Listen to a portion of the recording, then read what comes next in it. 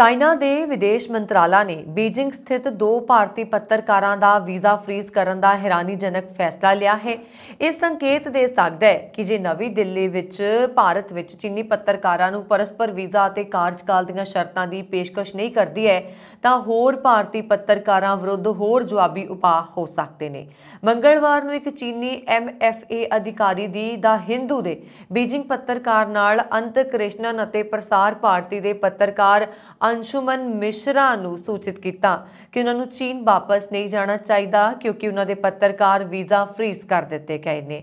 News agency PTI ਅਤੇ Hindustan Times ਦੇ ਨਾਲ ਸੰਬੰਧਿਤ ਚੀਨ ਵਿੱਚ ਮੌਜੂਦਾ ਦੋ ਹੋਰ ਪੱਤਰਕਾਰਾਂ ਨੂੰ ਸੂਚਿਤ ਕੀਤਾ ਗਿਆ ਹੈ। ਕਿ ਐਮਐਫਏ ਆਪਣੇ ਵਿਕਲਪਾਂ ਤੇ ਵਿਚਾਰ ਕਰ ਰਿਹਾ ਹੈ ਅਤੇ ਵਿਰੋਧੀ ਉਪਾਅ ਦਾ ਦਾਅਵਾ ਕਰ ਰਿਹਾ। ਇਹ ਭਾਰਤ ਵੱਲੋਂ ਚੀਨੀ ਪੱਤਰਕਾਰਾਂ ਦੇ ਨਾਲ ਬੇਇਨਸਾਫੀ ਹੈ। ਚੀਨ ਕਥਿਤ ਤੌਰ ਤੇ ਭਾਰਤ ਨੂੰ ਕਵਰ ਕਰਨ ਦੇ ਲਈ ਆਪਣੇ ਪੱਤਰਕਾਰਾਂ ਲਈ ਹੋਰ ਵੀਜ਼ਾਸ ਦੀ ਮੰਗ ਕਰ ਰਿਹਾ ਹੈ। ਇਹ ਮੌਜੂਦਾ ਵੀਜ਼ਾ ਵੈਧਤਾ, ਜਿਸ ਨੂੰ ਹਰ 3 ਮਹੀਨਿਆਂ ਬਾਅਦ ਨਵਿਆਉਣ ਦੀ ਲੋੜ ਹੈ, ਨੂੰ 12 ਮਹੀਨਿਆਂ ਦੇ ਵੀਜ਼ਾ ਤੱਕ ਵਧਾਉਣ ਦੇ ਲਈ ਵੀ ਕਿਹਾ ਜਾ ਰਿਹਾ।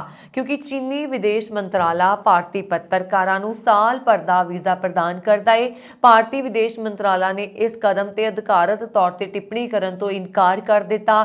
ਸੂਤਰਾਂ ਨੇ ਹਾਲਾਂਕਿ ਇਸ ਗੱਲ ਤੋਂ ਇਨਕਾਰ ਕੀਤਾ ਕਿ ਭਾਰਤ ਨੇ ਹਾਲ ਹੀ 'ਚ ਚੀਨੀ ਪੱਤਰਕਾਰਾਂ ਖਿਲਾਫ ਕੋਈ ਕਾਰਵਾਈ ਨਹੀਂ ਕੀਤੀ ਹੈ। ਵਿਦੇਸ਼ ਮੰਤਰਾਲਾ ਦੇ ਸੂਤਰਾਂ ਨੇ ਇਹ ਵੀ ਦੱਸਿਆ ਕਿ ਅਜੇ ਵੀ ਕੁਝ ਚੀਨੀ ਪੱਤਰਕਾਰ ਵੈਰ ਭਾਰਤੀ ਵੀਜ਼ਾ ਵਾਲੇ ਨੇ ਜੋ ਚੋਣ ਤਾਂ ਭਾਰਤ ਤੋਂ ਰਿਪੋਰਟ ਕਰ ਸਕਦੇ ਨੇ। ਸੂਤਰਾਂ ਨੇ ਦੱਸਿਆ ਕਿ ਇਸ ਤੋਂ ਇਲਾਵਾ ਚੀਨੀ ਪੱਤਰਕਾਰਾਂ ਨੂੰ ਦਿੱਲੀ ਦੇ ਵਿੱਚ G20 ਵਿਦੇਸ਼ ਮੰਤਰੀਆਂ ਦੀ ਮੀਟਿੰਗ ਅਤੇ ਵਾਰਾਣਸੀ ਦੇ ਵਿੱਚ ਸ਼ੰਘਾਈ ਸਹਿਯੋਗ ਸੰਗਠਨ ਦੀ ਮੀਟਿੰਗ ਨੂੰ ਕਵਰ ਕਰਨ ਦੇ ਲਈ ਪਹੁੰਚ ਦਿੱਤੀ ਗਈ ਸੀ।